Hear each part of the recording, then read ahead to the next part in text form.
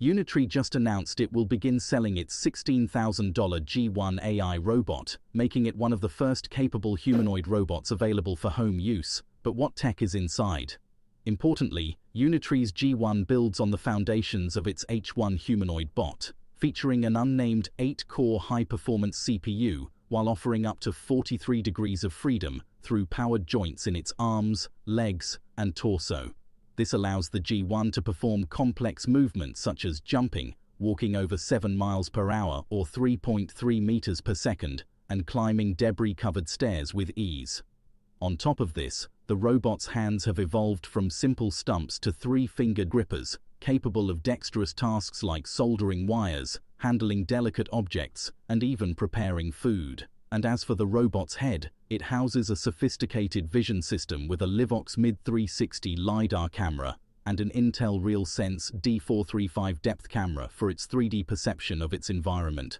And as for portability, the robot stands at just 4.3 feet tall or 1,320 millimeters, with the ability to fold down for easier transport and storage. And while the G1 weighs a total of 35 kilograms or 77 pounds when including its battery pack, it's packed with an impressive 9000 mAh battery to power it for two hours at a time. But the G1 isn't quite ready to do household tasks just yet, but the company does say it's designed to learn through imitation. This learning process is facilitated by Unitree's Unitree Robot Unified Large Model or UnifoLM for short, which makes the G1 an appealing platform for robotics researchers to build on top of. And beyond its artificial intelligence systems, the G1 employs some impressive physical specifications too, including 43 degrees of freedom for intricate and human-like movements, with a maximum joint torque of 120 newton meters to handle a wide variety of tasks. For computer vision, the robot's 360-degree perception incorporates both 3D LiDAR and depth cameras, ensuring a comprehensive understanding of its surroundings. The robot also features a stereo 5-watt speaker and a microphone array equipped with noise and echo cancellation for clear communication. And as for flexibility, each arm is articulated with 3 degrees of freedom in the shoulder, 2 in the elbow, and 2 in the wrist, while each leg has 3 degrees in the hip, 1 in the knee, and 2 in the ankle. Plus, Hollow joint wiring streamlines the robot's internal structure to minimize pinch points and increase safety when working around humans. Altogether, if Unitree can deliver this robot for 16,000 USD, it will certainly give Tesla and Boston Dynamics a run for their money. And in another groundbreaking collaboration, a team of roboticists from MIT and the University of California just unveiled a novel remote control system for robots known as Open Television. It works by drawing inspiration from VR technology commonly used in gaming, where players wear VR helmets and use controllers to navigate and interact within a virtual environment. In the same way, the researchers adapted similar technology to enable anyone to interact with the real world through these robotic proxies. With Open Television, an operator wears a VR helmet that offers a stereoscopic view through the robot's cameras. In this way, the pilot can control the robot's head movements by simply turning their own head. Plus, the system extends this intuitive control to the robot's limbs, arms, hands, and fingers. And instead of being encumbered by multiple sensors, the operator's movements are captured using remote sensors akin to those found in a Kinect system. This setup creates a sensation that feels like being physically present at the robot's location. As the operator moves, the robot mirrors these actions, performing tasks like picking up objects or manipulating tools. The experience is so seamless that it can feel like an extension of one's own body. One of the key demonstrations of Open Television's capabilities involved a team member at MIT controlling a robot stationed at UCSD. The operator reported a profound sense of presence, as if they were physically performing tasks at the remote site and the implications of such systems are vast.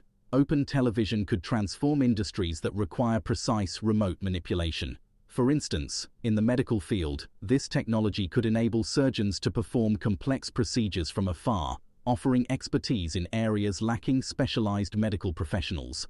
In search and rescue operations, robots could navigate hazardous environments without risking human lives. Furthermore, Open television opens the door to interplanetary exploration, allowing scientists to control robots on distant planets with unmatched precision. And in yet another AI breakthrough, Runway just introduced its newest Gen 3 Alpha Turbo as its leading text-to-video AI model that's now seven times faster and costs half as much as its predecessor, all while maintaining similar quality. And with such bold claims, users were quick to point out the advantages and drawbacks of the model.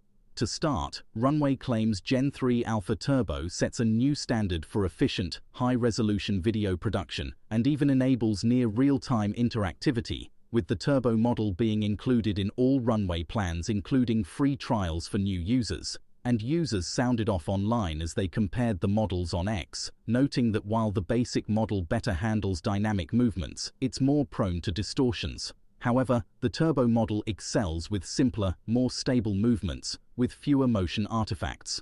On top of this, users also found that the basic model significantly outperforms the Turbo version for complex movements and effects.